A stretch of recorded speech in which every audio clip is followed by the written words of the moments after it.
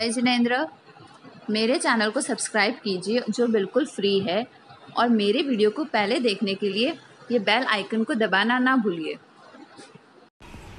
Hello friends, welcome to Nimaya Foodistan मैं निकिता कोठारी, आज आपके लिए लाई हूँ गेहूँ की खीर, और इसको मराठी में बोलते हैं महाराष्ट्र की फ़ेमस डिश है डेजर्ट है, इसको बोलते हैं गव्हाच्या खीर। ये खाने में बहुत टेस्टी है नॉर्मल खीर के कंपेयर में ये बहुत ज़्यादा स्वादिष्ट और टेस्टी होती है। आप इसे ज़रूर ट्राई करिए। इफ़ आप मेरे चैनल में न्यू है तो मेरे चैनल को लाइक सब्सक्राइब एंड शेयर करना भी ना भूलिए। इसके लिए मैंने 250 ग्राम्स वन कप गेहूँ लिया है। इसको मैंने रात भर भिगो के रख दिया है। देन इसको रात भर भिगोने के बाद इसको मैंने कुकर में चढ़ा दिया है और फाइव टू सिक्स विसल सीटी आने के बाद इसको हम एक बार चेक करेंगे कि अच्छे से हाथ से दब रहा है या नहीं दब रहा है। अगर दब रहा है तो मतलब ये गेहूँ रेडी है दूध के, दूध में डालने के लिए। अब मैंने इसमें two litre full cream milk use किया है और उसको मैंने गैस पे लो फ्लेम पे गर्म होने के लिए बॉयल होने के लिए रख दिया है। आप मेरे चैनल को सब्सक्राइब करना ना भूलिए। अगर आपको मेरी रेसिपी पसंद आई है तो आप कंटिन्यूसली स्टर करना है। ये ध्यान रखना है, ये नीचे। पैन में स्टिक ना हो, जल नहीं जाए।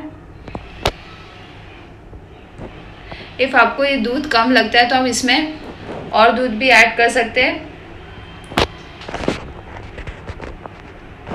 अब मैंने इसमें अब इसमें उबाला आने के बाद हम इसमें गेहूँ ऐड कर देंगे, जो हमने कुकर में चढ़ाए थे।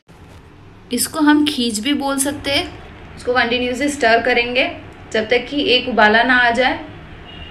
एक उबाला आने के बाद अब इसे छोड़ सकते हैं। अब मैंने इसमें मिल्क की जो क्रीम है फ्रेश क्रीम वो भी डाली है ताकि जो दूध है, वो और गाढ़ा हो जाए और खाने में बहुत टेस्टी और डिलीशियस लगे हमारी खीर।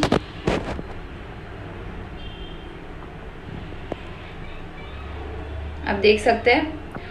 इसमें अच्छा उबाला आ गया है। अब मैंने इसमें 250 grams of sugar means one and half cup sugar add करी है। चीनी आप, आपके हिसाब से एडजस्ट कर सकते हैं। अब अगर आप कम मीठा खाना चाहें तो आप कम भी डाल सकते हैं। और इसे कंटिन्यूसली हमें स्टर करना है।